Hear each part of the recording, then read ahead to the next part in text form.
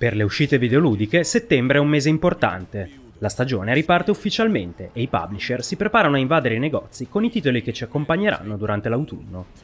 Quest'anno la lista di uscite settembrine è davvero ricca e ripaga in parte un'estate abbastanza fiacca. Il mese comincia con The Sims 4, in uscita il 4 settembre. Il nuovo life simulator di EA e Maxis è una ripartenza per la serie, che cambia motore grafico e punta tutto su condivisione e creatività. Ci sono alcuni elementi che a fronte del lavoro di riscrittura integrale sono stati rimossi rispetto alle precedenti versioni e che saranno probabilmente reintrodotti in futuro. Eppure il nuovo mood spiritoso della saga sembra aver conquistato molti fan. Il 5 di settembre esce Danganronpa 2 Goodbye Despair, forse una delle produzioni più interessanti per PlayStation Vita dai tempi della sua uscita. La sua forza è tutta nella trama e nei suoi intricati intrecci, nei suoi personaggi banali ma imprevedibili, nei suoi risvolti illogici e tremendamente reali, è un gioco lineare, eppure rappresenta una delle produzioni più originali del mercato.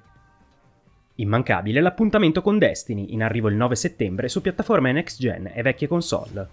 Il nuovo titolo Bungie è sicuramente uno dei prodotti più attesi dell'anno, e la fase di test che si è svolta a luglio sembra aver convinto anche gli scettici riguardo alle potenzialità del gioco. Questo first person shooter recupera una struttura da MMO e punta molto sul gioco cooperativo, ovviamente presentando anche un multiplayer che non mancherà di appassionare gli storici fan della saga di Halo. Il 12 settembre arriva NHL 15, primo episodio del celebre franchise Electronic Arts ad arrivare su console di nuova generazione.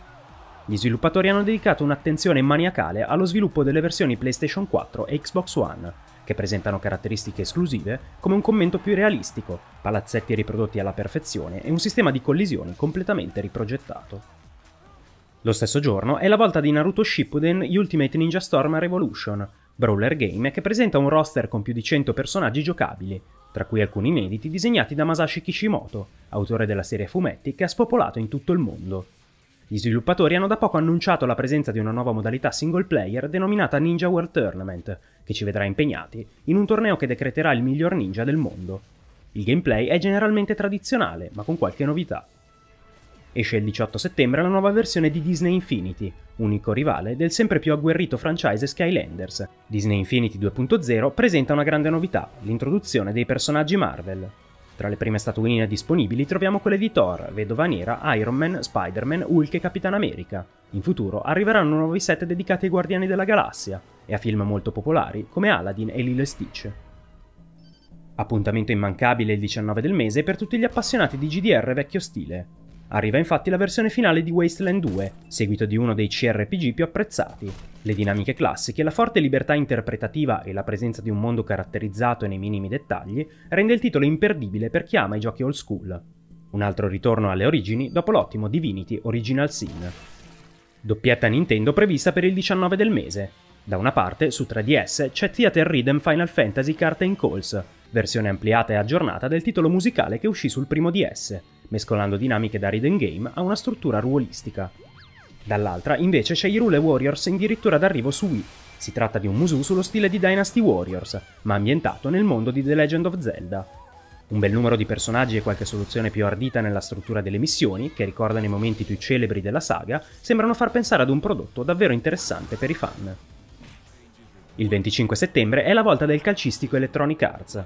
Anticipando il rivale PES, arriva FIFA 15, la nuova versione del simulatore di calcio più venduto nel mondo.